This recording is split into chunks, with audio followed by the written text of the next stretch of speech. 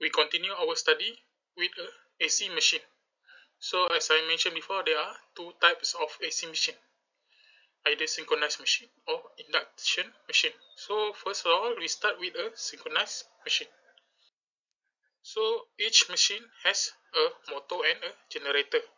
For synchronous machine, for synchronous generator, it is usually will in use in power generation. Okay, but synchronous motor is not very uh, not uh, usually used because but it is used in a power factor compensation. So this is the application of a synchronous machine. For a synchronous machine or induction machine there are, the name can be changed. Either way you have to know both name. So induction motor is widely used in electrical uh, motor in domestic and industrial application so induction motor is widely used because it is rigid, very strong. And the induction generator, we rarely use this. You have to know why, because due to the lack of separation, separate field excitation. So this why this is the reason why it is rarely used in a generator. So for generate power, we usually use synchronized machine to for the motor we uh, usually use induction motor. The reason the synchronous machine is called synchronous machine because the speed of the rotor as well as the rotating air gap field is the same. It is called a synchronized speed. So as mentioned before synchronous machine are usually in used in generator of electrical power or uh, also known as alternator. They are usually large machines generating electrical power for at the hydro, nuclear and thermal power. The another example is pump in the generator station, electrical clock, timer and constant speed. If the speed constant speed is desired, you have to use a synchronized machine. Okay. The induction machine is quite hard to control the speed. Here are a picture of a synchronous generator. Okay, if you can see here, there are exciter at the connected to the rotor. Okay, this is different with the induction motor because uh, induction system in the induction machine because there is no exciter. But for synchronous machine, you need to have an exciter. Okay, for synchronous machine, for the rotor, you need to know there are two types of rotor for synchronous machine. Okay, the first one is the round rotor. You can see that the rotor here is shaped round and the wire is circle. Uh, is in the slot. The red one and the inside the uh, machine. So this is a round rotor. You need to know how to draw this.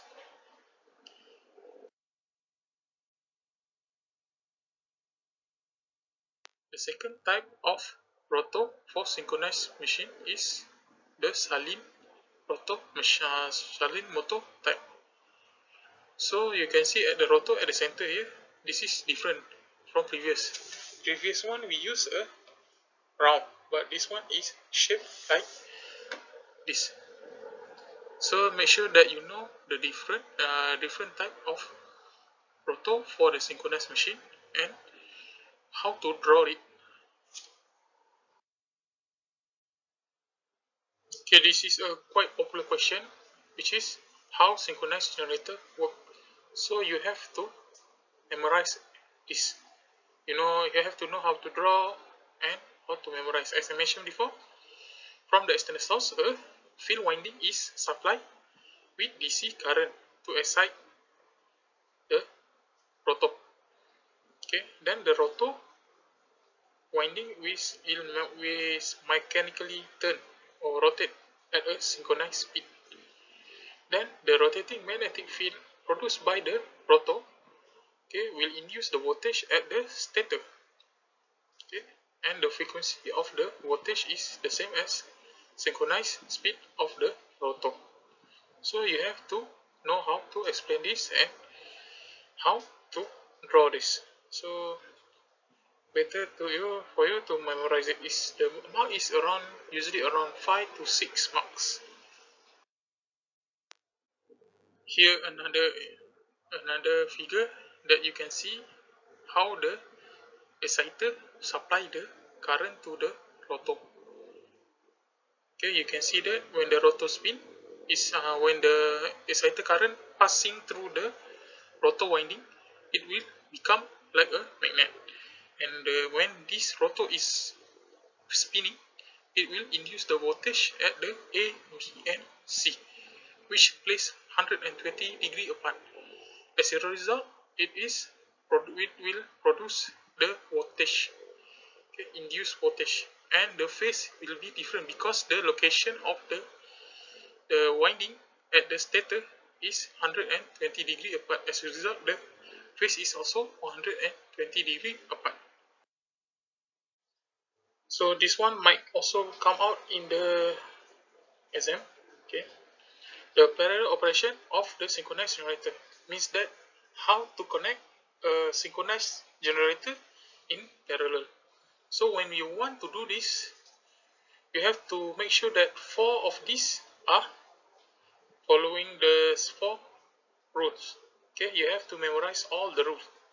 So when you want to connect the para generator parallel to another generator, the RMS line voltage of the two generator must be the same.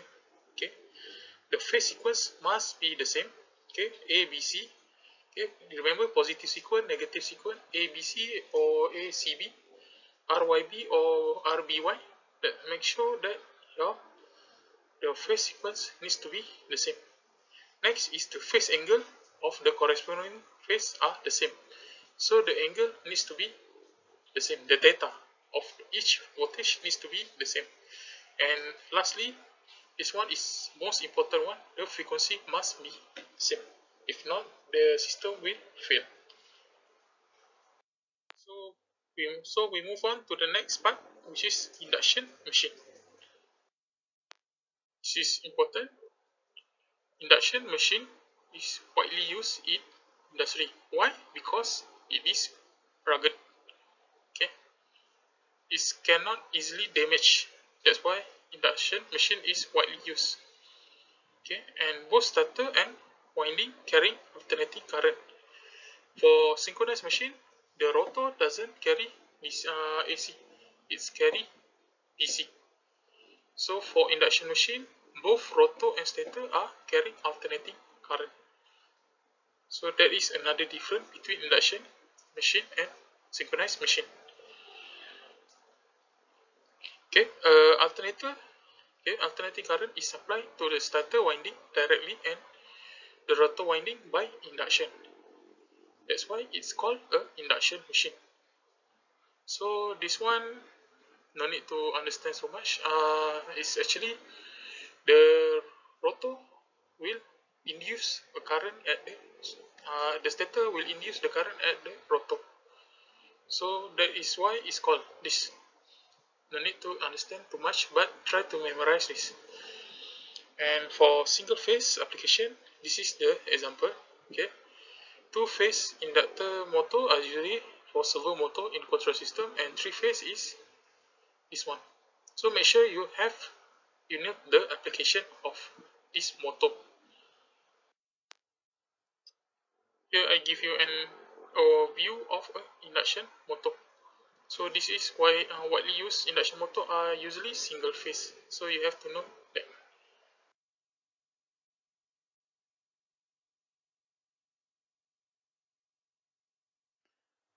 For single phase, it is usually used by the consumer.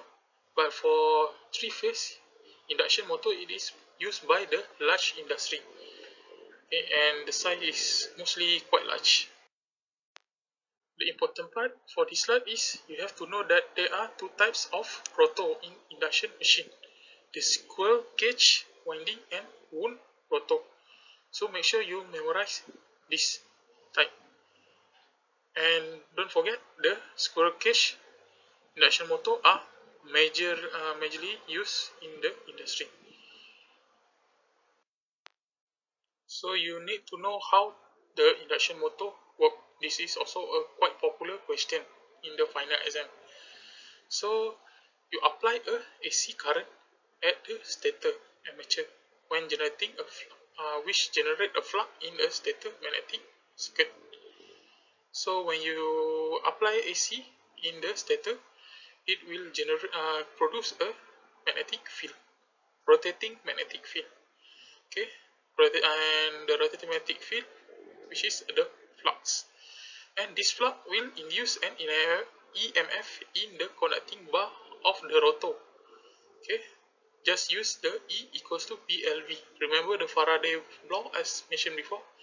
Okay, that one will induce current at the rotor, and the current that flow to the rotor will uh, due to the induce of the EMF. Okay, can be charged to the top as a output. So basically, it will induce the current in the rotor and produce the rotation. Okay, this is a stator construction of the induction motor. Okay, it is similar to the synchronous machine. Okay, the coil are placed in the slot to form a three-phase winding. As mentioned before, there are two types of rotor for induction machine. So the first one is the squirrel cage rotor. So the important one you need to know how to draw the squirrel cage rotor.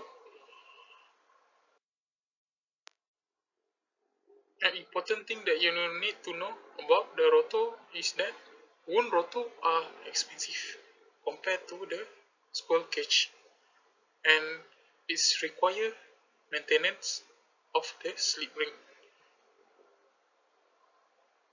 So